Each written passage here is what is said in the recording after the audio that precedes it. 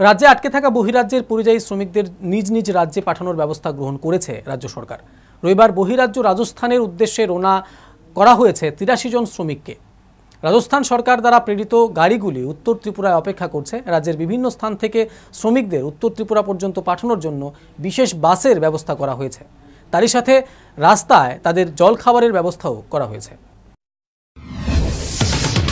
রাজস্থান থেকে এখানে আমাদের ত্রিপুরাতে এই লকডাউন পিরিয়ডের মধ্যে স্ট্যান্ডার্ড অবস্থায় আছে।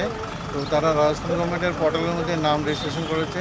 নাম রেজিস্ট্রেশন করার পরে আমাদের কোটাতে যারা ত্রিপুরার লোক ছিল, তারা ওই রাজস্থান গভর্নমেন্টের থেকে বাস নিয়ে এসছে। ওই বাসগুলি নর্থ ত্রিপুরা ডিস্ট্রিক্টের মধ্যে আছে। তো আমাদের এখানে আমরা আজকে তাদের যাওয়ার জন্য যে বন্দোবস্ত করা হয়েছে ইউপিসিএল এর থেকে আমরা ছটা গাড়ি দিয়েছি। এই ছটা গাড়ি হায়ার করার মাধ্যমে তাদের টোটাল বাহাত্তর জন স্টুডেন্ট মানে যারা এখানে আটকে আছেন, রাজস্থানের লোক, তাদেরকে নর্থ ত্রিপুরা ডিস্ট্রিক্টে পাঠানো হয়েছে। ওইখান থেকে আরও মাঝখান থেকে উঠবে।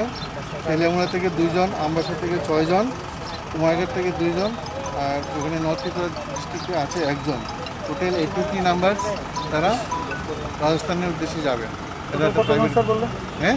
টোটাল এইটি থ্রি নাম্বার তো স্টেটে কয়টা কয়টা বাস ওইখানে তো দশটা বাস এসছে। এটা মানে রাজস্থান গভর্নমেন্ট থেকে তারা পারমিশন নিয়ে ওরা দশটা বাস এসেছে প্রাইভেট বাস